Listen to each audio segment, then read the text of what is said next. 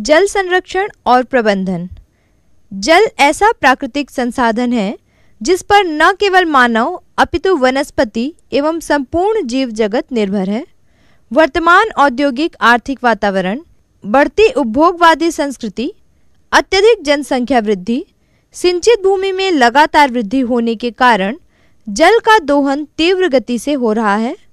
अतः स्थानीय एवं विश्व स्तर पर भविष्य के लिए जल संरक्षण करना आवश्यक है। जल संरक्षण के तरीके।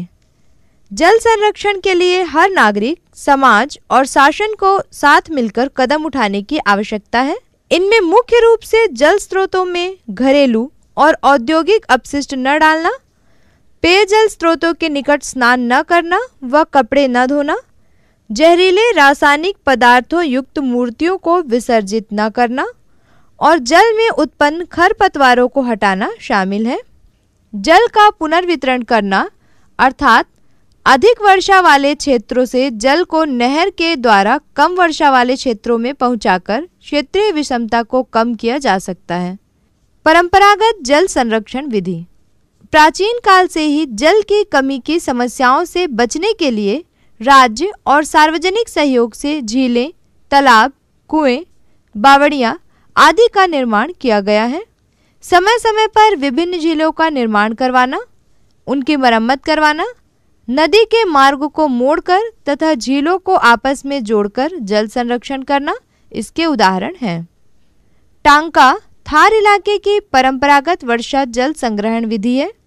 यह एक भूमिगत छोटा कुआँ है जहाँ मकानों के छत और अन्य पक्के जल ग्रहण क्षेत्रों से बहाकर जल को पक्के टांके में लाया जाता है, यह लगभग छः मीटर गहरा और दो से तीन मीटर चौड़ा होता है। टांका की बाहरी दीवार जहाँ से जल आता है, वहाँ फ़िल्टर या छन्नी लगाई जाती है ताकि जल गंदा ना हो। बाड़मेर, जैसलमेर और बीकानेर जैसे मरुस्थल के शहरों में टांकों की बहुतायत है।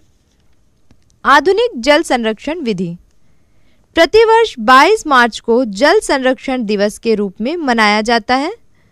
आधुनिक समाज में बढ़ते जल संकट को देखते हुए जल संरक्षण के लिए अनेक विधियाँ अपनाई जा रही हैं, जैसे बाँध एवं नहर बनाना बूंद बूंद एवं फवारा सिंचाई प्रणाली, ड्रिप एंड स्प्रिंकल इरिगेशन, दूषित जल को साफ़ कर पुनः उपयोग, जन जागरूकता फैलाना आदि।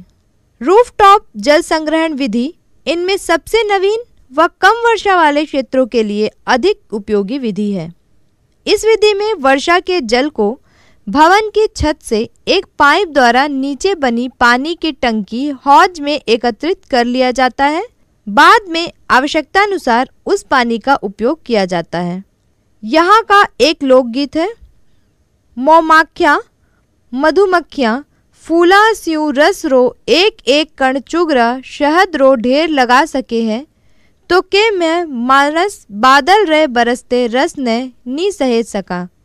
अर्थात मधुमक्खियाँ फूलों से रस का एक एक कण एकत्र कर शहद का ढेर लगा सकती हैं तो क्या हम इंसान बादलों से बरसते रस को भी नहीं सहेज सकते?